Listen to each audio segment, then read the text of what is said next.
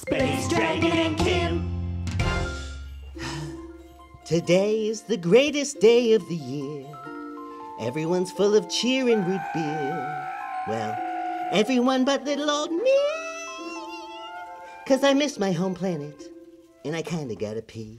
Happy Holla Holla Holidays! Woo! Hey Kim, happy Booty Bond Battle Day. Booty Bond Battle Day? What is that? Hey! Why so glum, Monkey Bum? Well, today is Booty Bond Battle Day. It's a holiday celebrated by my people. You see, every winter, the creatures on my home planet have a fun loving fight to the finish. And if you survive, the legendary super sweet Swaggin' Dragon sneaks up your toilet while you're sleeping and delivers you a sweaty gym sock full of candy.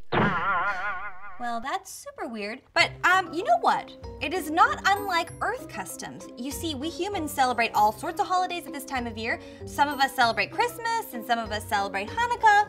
But they all have one thing in common, and that is sugary treats. What? You celebrate with candy too? I love candy so much, I could talk about it all day!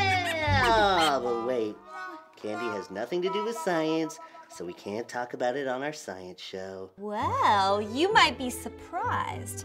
I'm about to roundhouse kick you in the mind with science as we learn about. The science of candy! Um, hey, take this. Whoa, a ninja bow staff? Ki! Kapow! Kablammy! Guess what? Kablammy! Hey Kim, guess what else? What? Oh, and P.S. Have you heard the news? I said said Ki! Um, actually, that bow staff is what we Earthlings use to make candy. See, most candy is made with sugar, and most sugar comes from a plant called sugarcane, like these. Yes, these sugar-filled bamboo-like shoots are a type of grass that can grow up to 20 feet tall and are native to tropical places like South Asia and Melanesia. And sugar also comes from sugar beets.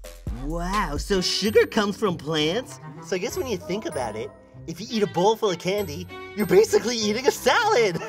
Absolutely not! But speaking of bowls, why don't we smash this glass candy bowl over Svensky, the science dummy's head? what? No, I don't want to hurt him. He looks too adorbs in those goggles. Here we go! Pause. Try this at home, friends. Svensky, run for your life! Oh, that was amazing. Sven, are you okay? Oh, he's cool. So that bowl was actually made of candy, not glass. So in old movies, they used to mix sugar, water, corn syrup, and cream of tartar to make these easy to smash glass dishes and windows. That way the actors in action movies wouldn't have to, you know, smash through the real glass and hurt themselves. You can even eat it. Let's just Actually, don't. Don't eat it. It doesn't taste good. This is so fun talking about candy. You know, it's really making me start to miss my home a lot less. What other fun things can you do with candy? Well, are you ready to make a mess? Obviously. Okay, well, watch and observe as I create a geyser made with Diet Pop and these mint candies. You might want to stand back. Yeah, I shouldn't get my scales dirty. Doing some tail modeling tonight. Demonstration time!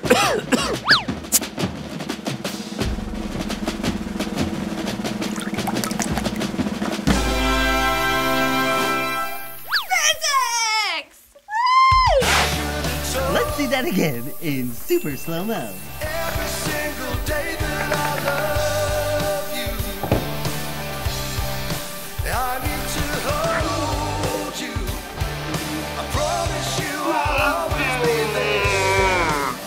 Yeah, physics! More like physics. Terrible part! So, uh, so how did that work? Oh, well, these candies have a ton of tiny little dents on them, perfect for making a bunch of air bubbles.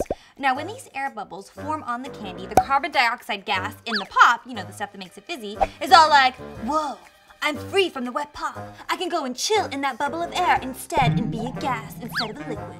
And then all the gas bubbles rush out at once into the open air like, woo! We are free from the liquid! Wow, this is the best Booty Bond Battle Day ever! that reminds me, Kim, I got you a present! Oh, Space Dragon!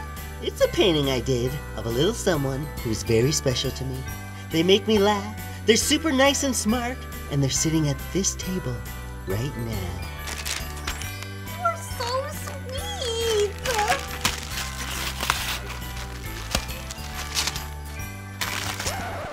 Painted a picture of yourself? Aren't I like so sweet?